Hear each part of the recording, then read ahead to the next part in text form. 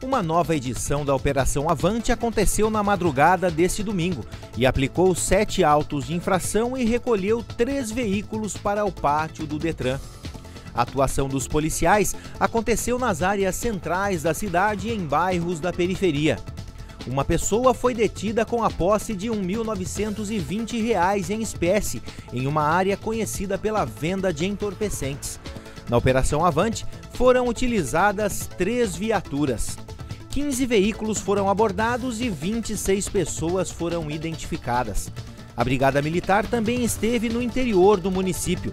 Os PMs realizaram ações na Estrada Geral de Santana, Irapuá, proximidades do balneário e demais corredores da região. Foram abordados nove veículos e identificadas 14 pessoas.